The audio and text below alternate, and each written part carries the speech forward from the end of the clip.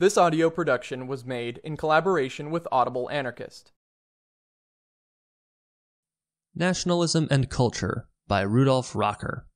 Chapter 1 The Insufficiency of Economic Materialism. The deeper we trace the political influences in history, the more we are convinced that the will to power has up to now been one of the strongest motives in the development of human social forms. The idea that all political and social events are but the result of given economic conditions and can be explained by them cannot endure careful consideration. That economic conditions and the special forms of social production have played a part in the evolution of humanity, everyone knows who has been seriously trying to reach the foundations of social phenomena. This fact was well known before Marx set out to explain it in his manner. A whole line of eminent French socialists like Saint-Simon, Considérant, Louis Blanc, Proudhon, and many others had pointed to it in their writings, and it is known that Marx reached socialism by the study of these very writings. Furthermore, the recognition of the influence and significance of economic conditions on the structure of social life lies in the very nature of socialism. It is not the confirmation of this historical and philosophical concept which is most striking in the Marxist formula, but the positive form in which the concept is expressed and the kind of thinking on which Marx based it one sees distinctly the influence of Hegel, whose disciple Marx had been. None but the philosopher of the absolute, the inventor of historical necessities and historic missions, could have imparted to him such self assurance of judgment. Only Hegel could have inspired in him the belief that he had reached the foundation of the laws of social physics, according to which every social phenomenon must be regarded as a deterministic manifestation of the naturally necessary course of events. In fact, Marx's successors have compared economic materialism with the discoveries of Copernicus and Kepler, and no less a person than Engels himself made the assertion that, with this interpretation of history, socialism had become a science. It is the fundamental error of this theory that it puts the causes of social phenomena on a par with the causes of mechanistic events in nature. Science concerns itself exclusively with the phenomena uh, which are displayed in the great frame which we call nature which are consequently limited by space and time and amenable to the calculations of human thought. For the realm of nature is a world of interconnections and mechanical necessities where every event occurs according to the laws of cause and effect. In this world, there is no accident. Any arbitrary act is unthinkable. For this reason, science deals only with strict facts. Any single fact which runs contrary to previous experiments and does not harmonize with the theory can overthrow the most keenly reasoned doctrine. In the world of metaphysical thought, the practical statement that the exception proves the rule may have validity, but in science, never.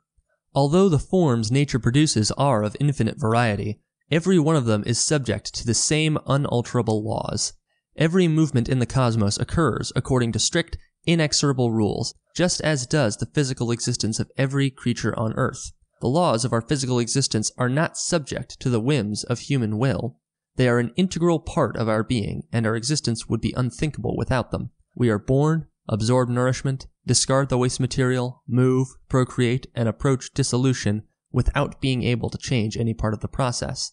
Necessities eventuate here which transcend our will. Man can make the forces of nature subservient to his ends. To a certain extent, he can guide their operation into definite courses, but he cannot stop them. It's just as impossible to sidetrack the separate events which condition our physical existence. We can refine the external accompanying phenomena and frequently adjust them to our will, but the events themselves we cannot exclude from our lives.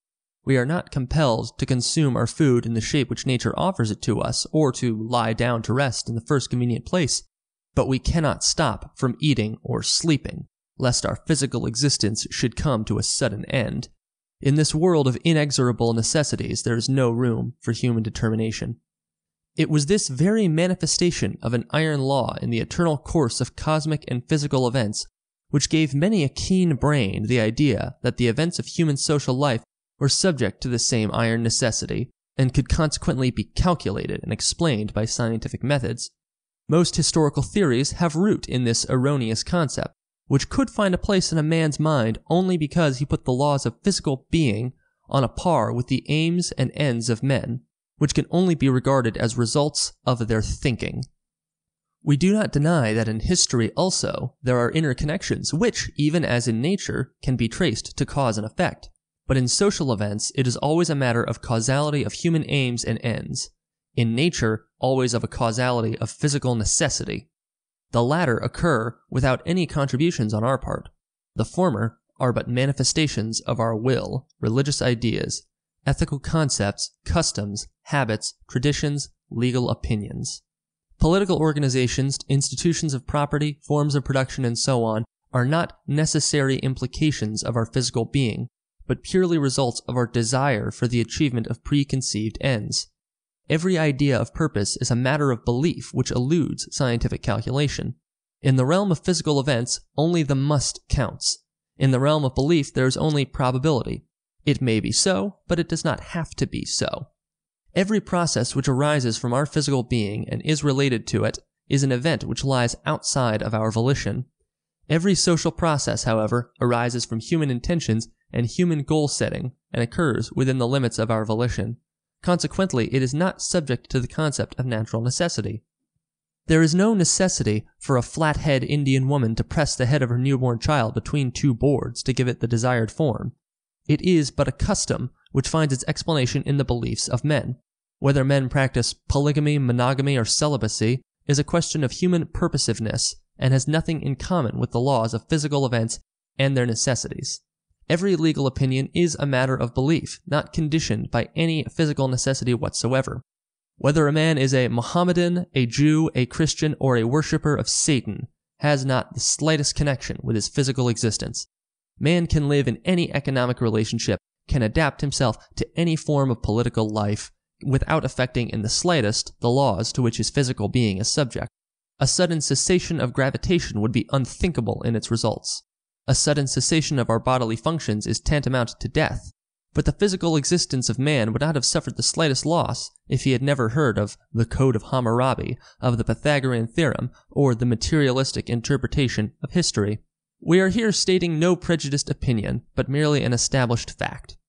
Every result of human purposiveness is of indisputable importance to man's social existence, but we should stop regarding social processes as deterministic manifestations of a necessary course of events. Such a view can only lead to the most erroneous conclusions and contribute to a fatal confusion in our understanding of historical events. It is doubtless the task of the historian to trace the interconnection of historical events and to make clear their causes and effects, but he must not forget that these connections are of a sort quite different from those of natural physical events and must therefore have quite a different valuation. An astronomer is able to predict a solar eclipse or the appearance of the comet to a second. The existence of the planet Neptune was calculated in this manner before a human eye had seen it, but such precision is only possible when we are dealing with the course of physical events. For the calculation of human motives and end results, there is no counterpart, because these are not amenable to any calculations whatsoever. It is impossible to calculate or predict the destiny of tribes, races, nations, or other social units. It is even impossible to find complete explanations of their past, for history is, after all, nothing but the great arena of human aims and ends, and every theory of history consequently a matter of belief founded at best only on probability. It can never claim unshakable certainty. The assertion that the destiny of social structures is determinable according to the laws of so-called social physics is of no greater significance than the claim of those wise women who pretend to be able to read the destinies of man in teacups or in the lines of the hands. True, a horoscope can be cast for peoples and nations, but the prophecies of political and social astrology are of no higher value than the prognostications of those who claim to be able to read the destiny of man in the configuration of the stars. That a theory of history may contain ideas of importance for the explanation of historical events is undeniable. We are only opposed to the assertion that the course of history is subject to the same or similar laws as every physical or mechanical occurrence in nature. This false, entirely unwarranted assertion contains another danger. Once we have become used to throwing the causes of natural events and those of social changes into one tub, we are only too inclined to look for a fundamental first cause, which would in a measure embody the law of social gravitation underlying all historical events. When once we have gone so far, it is easy to overlook all the other causes of social structures and the interactions resulting from them.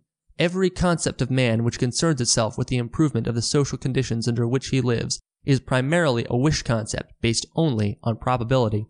Where such are in question, science reaches its limits, for all probability is based only on assumptions which cannot be calculated, weighed, or measured. While it is true that for the foundation of a worldview like, for instance, socialism, it is possible to call upon the results of scientific investigation, the concept itself does not become science, because the realization of its aim is not dependent upon fixed deterministic processes, as is every event in physical nature. There is no law in history which shows the course for every social activity of man. Whenever, up to now, the attempt has been made to prove the existence of such a law, the utter futility of the effort has at once become apparent. Man is unconditionally subject only to laws of his physical being. He cannot change his constitution. He cannot suspend the fundamental conditions of his physical being, nor alter them according to his wish. He cannot prevent his appearance on earth any more than he can prevent the end of his earthly pilgrimage. He cannot change the orbit of the star on which his life cycle runs its course, and must accept all the consequences of Earth's motion in space without being able to change it in the slightest. But the shaping of his social life is not subject to this necessary course, because it is merely the result of his willing and doing. He can accept the social conditions under which he lives as foreordained by a divine will, or regard them as the result of unalterable laws not subject to his volition. In the latter case, belief will weaken his will and induce him to adjust himself to given conditions. But he can also convince himself that all social forms possess only a conditioned existence and can be changed by human hand and human mind. In this case, he will try to replace the social conditions under which he lives with others and by his action prepare the way for a reshaping of social life. However fully man may recognize cosmic laws, he will never be able to change them, because they are not his work. But every form of his social existence, every social institution which the past has bestowed on him as a legacy from remote ancestors, is the work of men, and can be changed by human will and action, or made to serve new ends. Only such an understanding is truly revolutionary and animated by the spirit of the coming ages. Whoever believes in the necessary sequence of all historical events sacrifices the future to the past. He explains the phenomena of social life, but he does not change them. In this respect, all fatalism is alike, whether of a religious, political, or economic nature. Whoever is caught in its snare is robbed thereby of life's most precious possession, the impulse to act according to his own needs. It is especially dangerous when fatalism appears in the gown of science, which, nowadays, so often replaces the cassock of the theologian. Therefore, we repeat, the causes which underlie the processes of social life have nothing in common with the laws of physical and mechanical natural events, for they are purely the results of human purpose, which is not explicable by scientific methods. To misinterpret this fact is a fatal self deception from which only a confused notion of reality can result. This applies to all theories of history based on the necessity of the course of social events. It applies especially to historical materialism, which traces every historical event to the prevailing conditions of production and tries to explain everything from that. No thinking man in this day can fail to recognize that one cannot properly evaluate a historical period without considering economic conditions.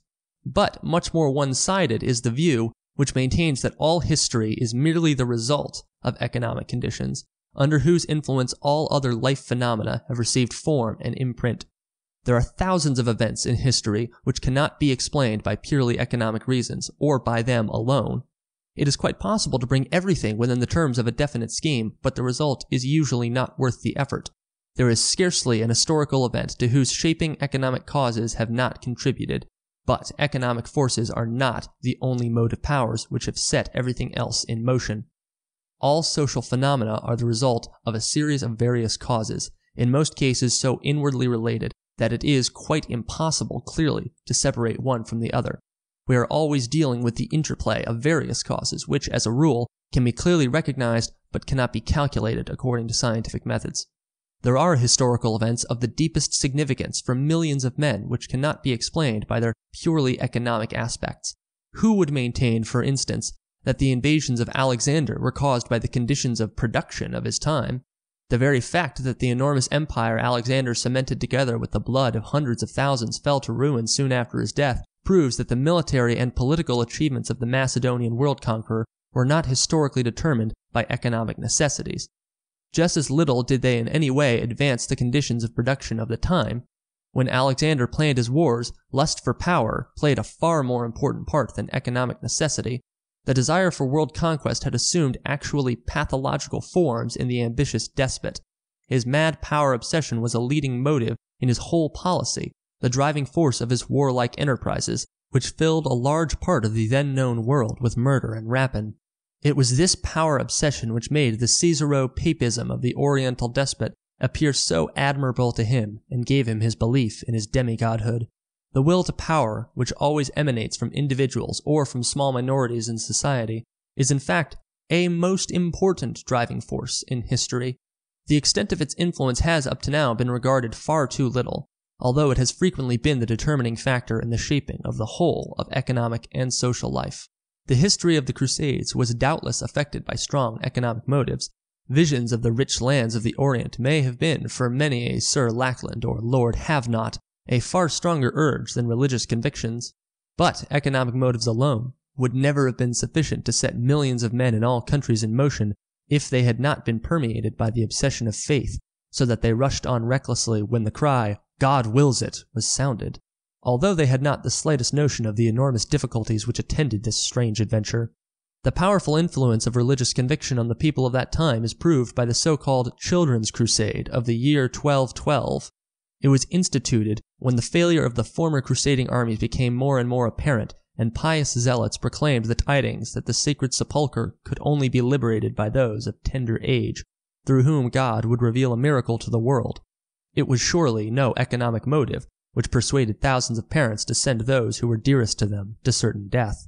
But even the papacy, which had at first only hesitatingly resolved on calling the Christian world to the First Crusade, was moved to it far more by power political than by economic motives. In their struggle for the hegemony of the Church, it was very convenient for its leaders to have many a worldly ruler, who might have become obstreperous at home, kept busy a long time in the Orient where he could not disturb the Church in the pursuit of its plans. True, there were others, as for instance the Venetians, who soon recognized what great economic advantages would accrue to them from the Crusades. They even made use of them to extend their rule over the Dalmatian coast, the Ionic Isles, and Crete. But to deduce from this that the Crusades were inevitably determined by the methods of production of the period would be sheer nonsense. When the Church determined upon its war of extermination against the Albigenses, which cost the lives of many thousands, made waste the freest, intellectually most advanced land in Europe, destroyed its highly developed culture and industry, maimed its trade, and left a decimated and bitterly impoverished population behind, it was led into its fight against heresy by no economic considerations whatsoever. What it fought for was the unification of faith, which was the foundation of its efforts at political power. Likewise, the French kingdom, which later on supported the church in this war, was animated principally by political considerations. It became in this bloody struggle the heir of the Count of Languedoc, whereby the whole southern part of the country came into its hands, naturally greatly strengthening its efforts for centralization of power. It was, therefore, principally because of the political motives of the church and state that the economic development of one of the richest lands in Europe was violently interrupted, and the ancient home of a splendid culture was converted into a waste of ruins. The great conquest by the Arabs, and especially their incursion into Spain, which started the Seven Hundred Years' War, cannot be explained by any study, however thorough, of the conditions of production of that time. It would be useless to try to prove that the development of economic conditions was the guiding force of that mighty epoch. The contrary here is most plainly apparent. After the conquest of Granada, the last stronghold of the Moors, there arose in Spain a new politico religious power under whose baneful influence the whole economic development of the country was set back hundreds of years. So effective was this incubus that the consequences are noticeable to this day over the whole Iberian Peninsula. Even the enormous streams of gold, which after the discovery of America poured into Spain from Mexico and the former Inca Empire, could not stay its economic decline, in fact, only hastened it. The marriage of Ferdinand of Aragon with Isabella of Castile laid the foundations of a Christian monarchy in Spain whose right hand was the Grand Inquisitor. The ceaseless war against the Moorish power waged under the banner of the Church had fundamentally changed the mental and spiritual attitude of the Christian population, and had created the cruel religious fanaticism which kept Spain shrouded in darkness for hundreds of years. Only under such preconditions could that frightful clerico political despotism evolve. which after drowning the last liberties of the Spanish cities in blood, lay on the land like a horrible incubus for 300 years. Under the tyrannical influence of this unique power organization, the last remnant of Moorish culture was buried, after the Jews and Arabs had first been expelled from the country.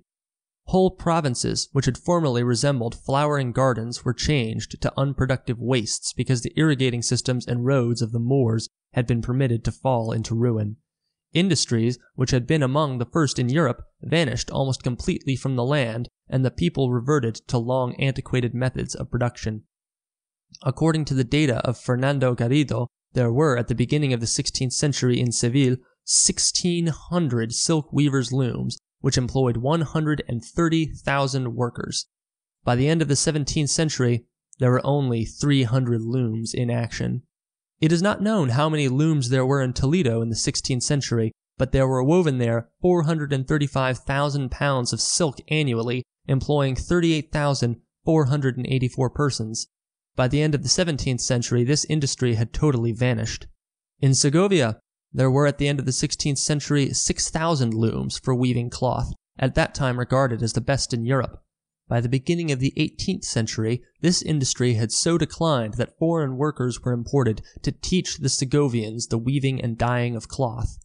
The causes of this decline were the expulsion of the Moors, the discovery and settling of America, and the religious fanaticism which emptied the workrooms and increased the number of the priests and monks. When only 300 looms remained in Seville, the number of monasteries there had increased to 62, and the clergy embraced 14,000 persons. And Zancada writes concerning the, that period In the year 1655, 17 guilds disappeared from Spain. Together with them, the workers in iron, steel, copper, lead, sulfur, the alum industry, and others.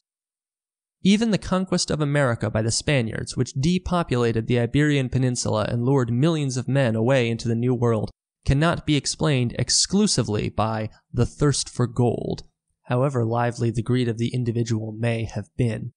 When we read the history of the celebrated Conquista, we recognize, with Prescott, that it resembles less a true accounting of actual events than one of the countless romances of knight errantry which, in Spain especially, were so loved and valued. It was not solely economic reasons which repeatedly enticed companies of daring adventurers into the fabled El Dorado beyond the great waste of waters. Great empires like those of Mexico and the Inca state, which contained millions, besides possessing a fairly high degree of culture, were conquered by a handful of desperate adventurers who did not hesitate to use any means and were not repelled by any danger because they did not value their own lives any too highly. This fact becomes explicable only when we take a closer view of this unique human material, hardened by danger which through a 700 years' war had been gradually evolved. Only an epoch in which the idea of peace among men must have seemed like a fairy tale out of a long vanished past, and in which the centuries long wars, waged with every cruelty, appeared as the normal condition of life, could have evolved the wild religious fanaticism characteristic of the Spaniards of that time. Thus becomes explicable that peculiar urge constantly to seek adventure. For a mistaken concept of honor, frequently lacking all real background, a man was instantly ready to risk his life. It is no accident that it was in Spain that the character of Don Quixote was evolved. Perhaps that theory goes too far, which seeks to replace all sociology by the discoveries of psychology, but it is undeniable that the psychological condition of men has a strong influence in the shaping of man's social environment. Hundreds of other examples might be cited from which it is clearly apparent that economics is not the center of gravity of social development in general, even though it has indisputably played an important part in the formative processes in history, a fact which should not be overlooked any more than it should be excessively overestimated. There are epochs when the significance of economic circumstances in the course of social events becomes surprisingly clear, but there are others where religious or political motives obviously interfere arbitrarily with the normal course of economics and for a long time inhibit its natural development or force it into other channels. Historical events like the Reformation, the Thirty Years' War, the great revolutions in Europe, and many others are not comprehensible at all as purely economic. We may, however, readily admit that in all these events, economic factors played a part and helped to bring them about. This misapprehension becomes still more serious when we try to identify the various social strata of a definite epoch as merely the typical representations of quite definite economic interests.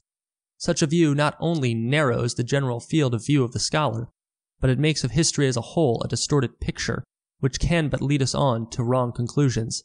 Man is not purely the agent of specific economic interests. The bourgeoisie, for instance, has in all countries where it achieved social importance frequently supported movements which were by no means determined by its economic interests, but often stood in open opposition to them.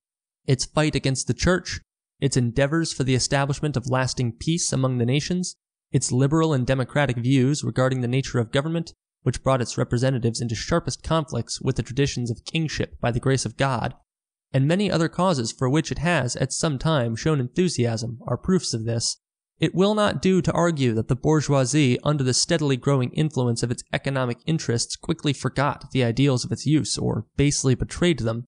When we compare the storm and stress period of the socialistic movement in Europe with the practical politics of the modern labor parties, we are soon convinced that the pretended representatives of the proletariat are in no position to attack the bourgeoisie for its inner changes. None of these parties has, during the worst crisis which the capitalist world has ever passed through, made even the slightest attempt to influence economic conditions in the spirit of socialism. Yet, never before were economic conditions riper for a complete transformation of capitalistic society. The whole capitalistic economic system has gotten out of control. The crisis, which formerly was only a periodic phenomenon of the capitalistic world, has for years become the normal condition of social life.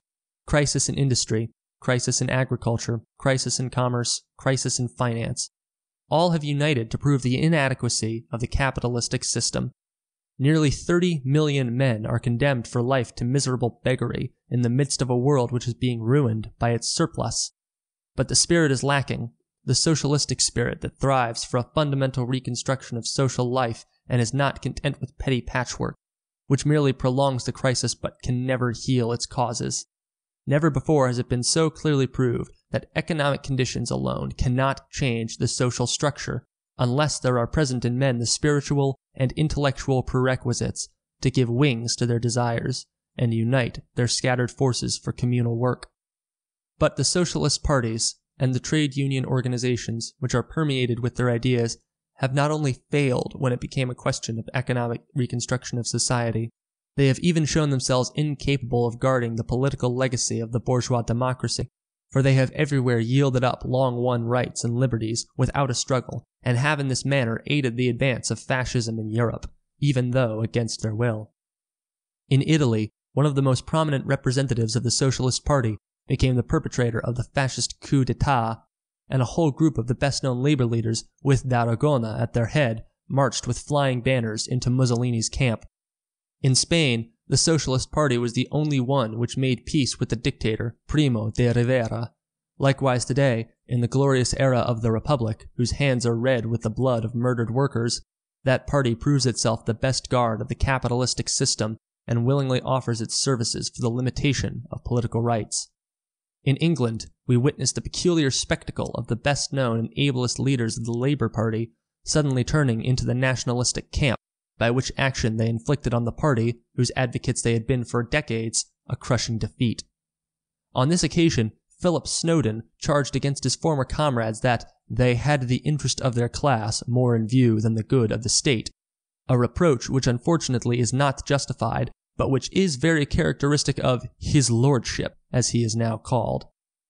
In Germany, the social democracy as well as the trade unions have supported with all their powers the notorious attempts of the great capitalist industrialists at the rationalization of industry, which has reacted so catastrophically upon labor and has given a morally stagnated bourgeoisie the opportunity to recuperate from the shocks which the lost war had given them.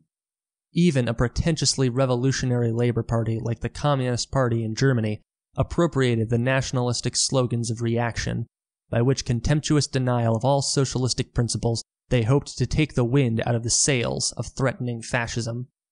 To these examples, many more might be added to show that the representatives of the great majority of organized socialistic labor hardly have the right to reproach the bourgeoisie with political unreliability or treason to its former ideals.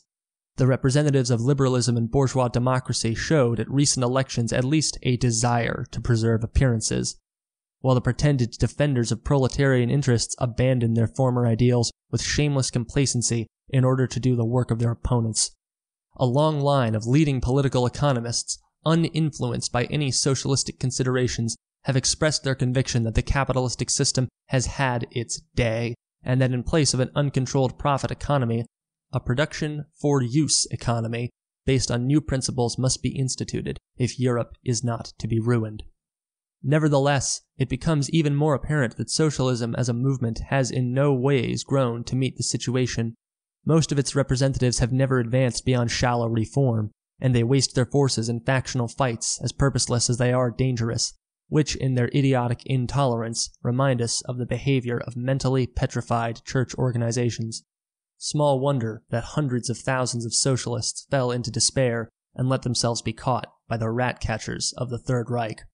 It could be objected here that the necessities of life itself, even without the assistance of the socialists, were working towards the alteration of existing economic conditions, because a crisis with no way out becomes at last unendurable.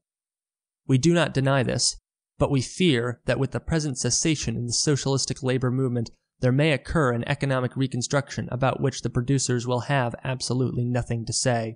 They will be confronted with the accomplished facts which others have created for them, so that in the future, too, they will have to be content with the part of coolies which had been planned for them all the while. Unless all signs deceive us, we are marching with giant strides towards an epoch of state capitalism, which is likely to assume for the workers the shape of a modern system of bondage in which man may be regarded as merely an instrument of production, and all personal freedom will be absolutely extinguished. Economic conditions can, under certain circumstances, become so acute that a change in the existing social system is a vital necessity. It is only a question in which direction we shall then move. Will it be a road to freedom, or will it merely result in an improved form of slavery, which, while it secures for man a meager living, will rob him of all independence of action? This, and this only, is the question. The social constitution of the Inca Empire secured for every one of its subjects the necessary means of subsistence but the land was subject to an unlimited despotism, which cruelly punished any opposition to its command and degraded the individual to a willless tool of the state power. State capitalism might be a way out of the present crisis, but most assuredly it would not be a road to social freedom. On the contrary, it would submerge men in a slough of servitude which would mock at all human dignity. In every prison, in every barrack, there is a certain equality of social condition, Everyone has the same food, the same clothes, renders the same service, or performs the same task. But who would affirm that such a condition presents an end worth working for? It makes a difference whether the members of a social organization are masters of their fate, control their own affairs, and have the inalienable right to participate in the administration of their communal interests, or are but the instruments of an external will over which they possess no influence whatsoever. Every soldier has the right to share the common rations, but he is not permitted to have a judgment of his own. He must blindly obey the orders of his superior, silencing, if need be, the voice of his own conscience, for he is but a part of a machine which others set in motion. No tyranny is more unendurable than that of an all powerful bureaucracy, which interferes with all the activities of men and leaves its stamp on them. The more unlimited the power of the state over the life of the individual, the more it cripples his creative capacities and weakens the force of his personal will. State capitalism, the most dangerous antithesis of real socialism, demands the surrender of all social activities to the state. It is the triumph of the machine gun over the spirit, the rationalization of all thought, action, and feeling according to the fixed norms of authority, and consequently the end of all real intellectual culture. That the full scope of this threatening development has not been grasped up till now that the idea that it is necessitated by current economic conditions has even been accepted may well be regarded as one of the most fateful signs of the times. The dangerous mania which sees in every social phenomenon only the inevitable result of capitalistic methods of production has implanted in men the conviction that all social events arise from definite necessity and are economically unalterable. This fatalistic notion could only result in crippling men's power of resistance and consequently making them receptive to compromise with given conditions, no matter how horrible and inhuman they may be. Everyone knows that economic conditions have an influence on the changes in social relations. How men will react in their thoughts and actions to this influence is of great importance, however, in determining what steps they may decide to take to initiate an obviously necessary change in the conditions of life. But it is just the thoughts and actions of men which refuse to accept the imprint of economic motives alone. Who would, for instance, maintain that the Puritanism which has decidedly influenced the spiritual development of Anglo Saxon people up to the present day was the necessary result of economic capitalistic order then in its infancy? Or who would try to prove that the World War was absolutely conditioned by the capitalistic system and was consequently unavoidable? Economic interests undoubtedly played an important part in this war as they have in all others, but they alone would not have been able to cause this fatal catastrophe Merely the sober statement of concrete economic purposes would never have set the great masses in motion. It was therefore necessary to prove to them that the quarrel for which they were to kill others, for which they were to be killed themselves, was the good and righteous cause. Consequently, one side fought against the Russian despotism for the liberation of Poland, and of course for the interests of the fatherland, which the Allies had conspired to destroy, and the other side fought for the triumph of democracy and the overthrow of Prussian militarism, and that this war should be the last war. It might be urged that behind all the camouflage by which the people were fooled for over four years there stood, after all, the economic interests of the possessing classes. But that is not the point. The decisive factor is that without the continuous appeal to men's ethical feelings, to their sense of justice, no war would have been possible. The slogan, God punish England, and the cry, Death to the Huns, achieved in the last war far greater miracles than did the bare economic interests of the possessing classes. This is proved by the fact that before men can be driven to war, they must be lashed into a certain pitch of passion, and by the further fact that this passion can only be aroused by spiritual and moral motives. Did not the very people who, year after year, had proclaimed to the working masses that every war in the era of capitalism springs from purely economic motives, at the outbreak of the World War, abandon their historic philosophical theory and raise the affairs of the nation above those of the class? And these were the ones who, with Marxist courage of conviction, supported the statement in the Communist Manifesto the history of all society up to now has been the history of class struggles. Lenin and others have attributed the failure of most of the socialist parties at the beginning of the war to the leaders' fear of assuming responsibility, and with bitter words they have flung this lack of courage in their faces. Admitting that there is a great deal of truth in this assertion, although we must beware in this case of generalizing too freely, what is proved by it? If it was indeed fear of responsibility and the lack of moral courage which induced the majority of the socialist leaders to support the national interests of their respective countries, then this is but a further proof of the correctness of our view. Courage and cowardice are not conditioned by the prevailing forms of production, but have their roots in the psychic feelings of men. But if purely psychic motives could have such a compelling influence on the leaders of a movement numbering millions, that they abandoned their fundamental principles even before the cock had crowed thrice, and marched with the worst foes of the socialistic labor movement against the so-called hereditary enemy, this only proves that man's actions cannot be explained by conditions of production with which they often stand in the sharpest contrast. Every epoch in history provides superabundant evidence of this. It is then a patent error to explain the late war solely as the necessary result of opposing economic interests. Capitalism would still be conceivable if the so-called captains of world industry should agree in an amicable manner concerning the possession of sources of raw materials and the spheres of market and exploitation, just as the owners of the various economic interests within a country come to terms without having to settle their differences on each occasion with the sword. There exist already quite a number of international organizations for production in which the capitalists of certain industries have gotten together to establish a definite quota for the production of their goods in each country, in this manner, they have regulated the total production of their branches by mutual agreement on fundamental principles. The International Steel Trust in Europe is an example of it. By such a regulation, capitalism loses nothing of its essential character. Its privileges remain untouched. In fact, its mastery over the army of its wage slaves is considerably strengthened. Considered purely economically, the war was therefore by no means inevitable. Capitalism could have survived without it. In fact, one can assume with certainty that if the directors of the capitalistic order could have anticipated the war's results, it would never have happened.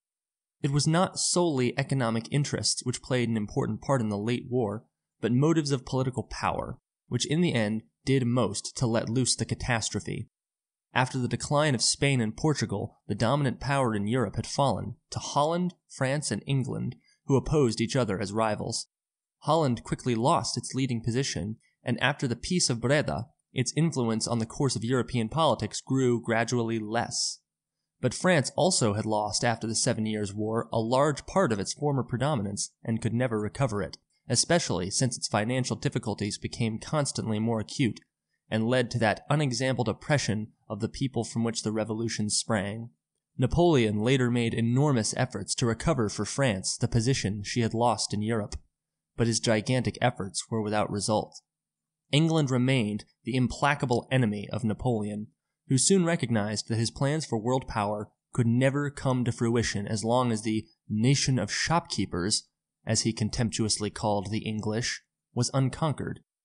Napoleon lost the game after England had organized all Europe against him. Since then, England has maintained its leading position in Europe, indeed, in the whole world. But the British Empire is not a continuous territory, as other empires were before it. Its possessions are scattered over all five continents, and their security is dependent upon the position of power which Britain occupies in Europe. Every threat to this position is a threat to the continued possession of colonies by England. As long as on the continent the formation of the modern great states, with their gigantic armies and fleets, their bureaucracy, their capitalistic enterprises, their highly developed industries, their foreign trade agreements, their exports, and their growing need of expansion could still be overlooked, Britain's position as a world power remained fairly untouched. But the stronger the capitalistic states of the continent became, the more had Britain to fear for its hegemony. Every attempt by a European power to secure new trade or territory supplying raw materials, to further its export by trade agreements with foreign countries, and to give its plans for expansion the widest possible room, inevitably led sooner or later to a conflict somewhere with British spheres of interest and had always to look for hidden opposition by Britain. For this reason, it necessarily became the chief concern of the British foreign policy to prevent any power from obtaining predominant influence on the continent, or, when this was unavoidable, to use its whole skill to play one power against the other. Therefore, the defeat of Napoleon III by the Prussian army and Bismarck's diplomacy could only be very welcome to Britain, for France's power was thereby crippled for decades. But Germany's development of its military power, the initiation of its colonial policy, and, most of all, the building of its fleet and its steadily growing plans for expansion, as its urge to eastward became increasingly noticeable and distasteful to the English, conjured up a danger for the British Empire that its representatives could not afford to disregard. That British diplomacy unhesitatingly used any means to oppose the danger is no proof that its directors were by nature more treacherous or unscrupulous than are the diplomats of other countries. The idle talk about perfidious Albion is just as silly as the chatter about a civilized warfare. If British diplomacy proved superior to that of the Germans, if it was cleverer in its secret intrigues, it was so only because its representatives had had much longer experience and because, fortunately for them, the majority of responsible German statesmen from Bismarck's time were but willless lackeys of imperial power. None of them had the courage to oppose the dangerous activities of an irresponsible psychopath and his venal camarilla. However, the foundation of this evil is to be sought not in individual persons, but in power politics itself, irrespective of who practices it or what immediate aims it pursues. Power politics is only conceivable as making use of all means, however condemnable they may appear to private conscience, so long as they promise results, conform to reasons of state, and further the state's ends. Machiavelli, who had the courage to collect systematically the methods of procedure of power politics and to justify them in the name of reasons of state, has set this forth already in his Discorsi, clearly and definitely. If we are dealing with the welfare of the fatherland at all, we must not permit ourselves to be influenced by right or wrong, compassion or cruelty, praise or blame. We must cavil at nothing, but we must always grasp at the means which will save the life of the country and preserve its freedom. For the perfect power politics, every crime done in the service of the state is a meritorious deed if it is successful.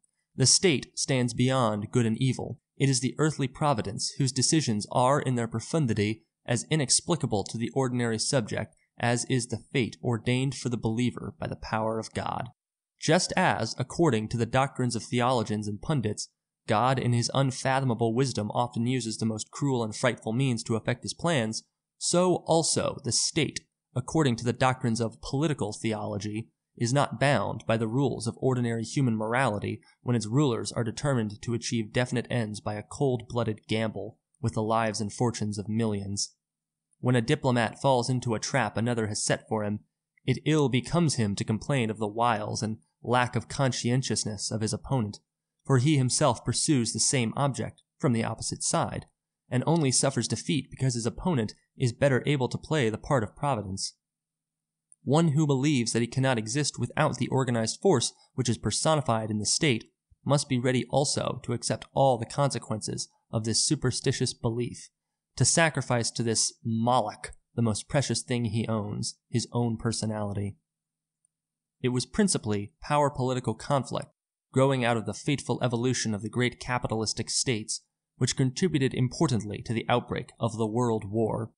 Since the people, and especially the workers, of the various countries neither understood the seriousness of the situation nor could summon the moral courage to put up a determined resistance to the subterranean machinations of the diplomats, militarists, and profiteers, there was no power on earth which could stay the catastrophe. For decades, every great state appeared like a gigantic army camp which opposed the others, armed to the teeth, until a spark finally sprung the mine. Not because all happened as it had to happen did the world drive with open eyes toward the abyss, but because the great masses in every country had not the slightest idea what a despicable game was being played behind their backs. They had to thank their incredible carelessness and above all their blind belief in the infallible superiority of their rulers and so-called spiritual leaders that for over four years they could be led to slaughter like a willless herd. But even the small group of high finance and great industry, whose owners so unmistakably contributed to the releasing of the Red Flood, were not animated in their actions exclusively by the prospect of material gain. The view which sees in every capitalist only a profit machine may very well meet the demands of propaganda, but it is conceived much too narrowly and does not correspond to reality. Even in modern giant capitalism, the power political interests frequently play a larger part than the purely economic considerations, although it is difficult to separate them from each other. Its leaders have learned how to know the delightful sensation of power, and adore it with the same passion as did formerly the great conquerors, whether they find themselves in the camp of the enemies of their government, like Hugo Stinnes and his followers in the time of the Germany money crisis, or interfere decisively in the foreign policy of their own country. The morbid desire to make millions of men submissive to a definite will, and to force whole empires into courses which are useful to the secret purposes of small minorities, is frequently more evident in the typical representatives of modern capitalism than are purely economic considerations, or the prospect of greater material profit. The desire to heap up ever increasing profits today no longer satisfies the demands of the great capitalistic oligarchies. Every one of its members knows what enormous power the possession of great wealth places in the hands of the individual and the caste to which he belongs. This knowledge gives a tempting incentive and creates that typical consciousness of mastery whose consequences are frequently more destructive than the facts of monopoly itself. It is this mental attitude of the modern grand seigneur of industry and high finance which condemns all opposition and will tolerate no equality. In the great struggles between capital and labor, this brutal spirit of mastery often plays a more decided part than immediate economic interests. The small manufacturers of former times still had certain rather intimate relationships to the masses of the working population and were consequently able to have more or less understanding of their position. Modern moneyed aristocracy, however, has even less relationship with the great masses of the people than did the feudal barons of the 18th century with their serfs. It knows the masses solely as collective objects of exploitation for its economic and political interests. It has in general no understanding of the hard conditions of their lives. Hence, the conscienceless brutality, the power urge, contemptuous of all human right, and the unfeeling indifference to the misery of others. Because of his social position, there are left no limits to the power lust of the modern. He can interfere with inconsiderate egoism in the lives of his fellow men and play the part of providence for others. Only when we take into consideration this passionate urge for political power over their own people as well as over foreign nations are we able really to understand the character of the typical representatives of modern capitalism. It is just this trait which makes them so dangerous to the social structure of the future. Not without reason does modern monopolistic capitalism support the National Socialist and Fascist reaction. This reaction is to help beat down any resistance of the working masses in order to set up a realm of industrial serfdom in which productive man is to be regarded merely as an economic automaton without any influence whatsoever on the course and character of economic and social conditions. This Caesarian madness stops at no barrier. Without compunction, it rides roughshod over those achievements of the past which have all too often had to be purchased with the heart's blood of the people. It is always ready to smother with brutal violence the last rights and the last liberties which might interfere with its plans for holding all social activities within the rigid forms set by its will. This is the great danger which threatens us today, and which immediately confronts us. The success or failure of monopolistic capitalistic power plans will determine the structure of the social life of the near future. This has been a production of Audible Anarchist. You can find more Audible Anarchist on YouTube.